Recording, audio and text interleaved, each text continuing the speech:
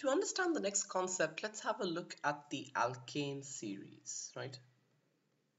Now we have discussed before that alkanes are basically those compounds, those hydrocarbons that have single bonds between the carbon atoms in uh, present in them. So let's have a look. First, we have methane, that is CH4, right? And this is pretty much an alkane because there's only one carbon atom and there is no uh, other bond with any other carbon so we put it in alkanes right? So CH4 let's have a next carbon atom which is C2 uh, sorry uh, next hydrocarbon which is C2H6 this is ethane. Again the next one is C3H8 which is propane. Then we have C4H10 which is butane and C5H12 which is pentane. Now, these are some of the alkanes, right? These are the first five alkanes. Now, let's make some observations, right? This is a series of alkanes. This is a, uh, you know, it is a series of alkanes and you can see that between these two, between these two, there is a difference of one CH2 unit. Can you notice that? Because if suppose we have CH4 and to this we add one CH2 unit, one more carbon and two more hydrogen. So you will get C2H6, which is nothing but your ethane. So basically there is a difference of one CH2 unit. There is also a difference of a mass of 14U. CH4 has a mass of 12 plus 4, which is 16U and C2H6 has a mass of 2 into 12 plus 6 which is equal to 24 plus 6 which is equal to 30 U. So if you take the difference 30 minus 16 it is equal to 14 U. So you can see that there is a difference of 14 U of mass right between two of the alkane series between two progressive hydrocarbons of the alkane series. Let's have a look at the others too. Let's take C2H6 and C3H8. Again, you can see there is a difference of one CH2 unit, right? Because if you add a CH2 unit to this, you get C3 plus H6 plus H2, which is H8. So C3H8. And again, a mass of 14U. There is a difference of mass of 14U. Again, if you solve it, you'll get it, right? Similarly, for the others too, C3H8 and C4H10, there is a difference of a mass of, uh, sorry, of one CH2 unit or of a mass of 14U. Similarly, let's look at the last two, C4H10 and C5H12. Again, a difference of one CH2 unit and a mass of 14U. Right. So you can see that in this alkane series of hydrocarbons, between two progressive compounds, there is a difference of one CH2 unit and a difference of 14U of mass. All right. This alkane series with these properties you can see in alkane series it basically has a general formula right? If you look into all the compounds there is a general formula for alkanes that is CnH2n plus 2 so if you substitute the value of n you will get a particular hydrocarbon. Here carbon needs to be present so you cannot take n as 0 you can take n as uh, n from 1 to whatever number. So n equal to 1 if suppose n is equal to 1, then you get CH, 2 into 1, that is 2, plus 2, that is 4, so methane.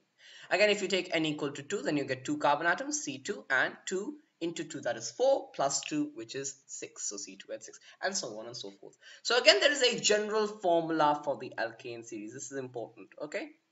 This is the general formula of the alkane series. Right? So these compounds have been derived from one same general formula, but they progressively differ by one CH2 unit and by a mass of 14U. So, such a series of hydrocarbons or such a series of organic compounds that are derived from the same general formula but progressively differ by a mass of 14U and by one CH2 unit is what we call a homologous series of organic compounds.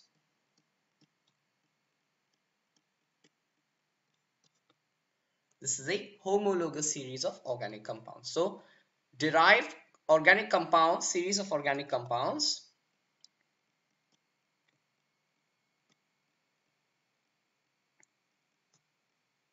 derived from derived from same general formula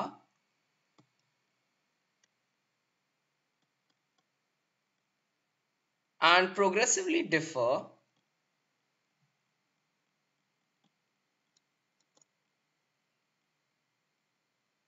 by 1 CH2 unit and 14 U of mass. Right? So that is a homologous series of organic compounds, right? So here we have taken the example of the alkane series. How alkane series is also a homologous series. Again, you can also have an alkene series. Alkenes are also alkene series is also homologous series. You can also talk about alkyne series, which is again a homologous series. You can talk about the alkenes, which have a general formula of CnH2n. You don't have plus 2. Like in alkanes, we have plus 2. Here the general formula is CnH2n. In alkynes, it is CnH2n minus 2. Right? That's for alkynes. So if we try to tabulate this, let's try to tabulate this. Uh, we'll have the type of compound, type of series. Okay, and we'll have the general formula. Let's try to tabulate this for a better understanding. Now, if suppose you have the alkane series, now we have already done this. The general formula is CnH2n plus 2. For alkene series, the formula is CnH2n.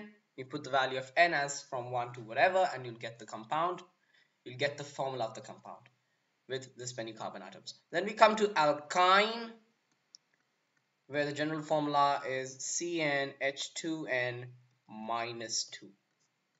So we have basically these three homologous series in our um, in our course.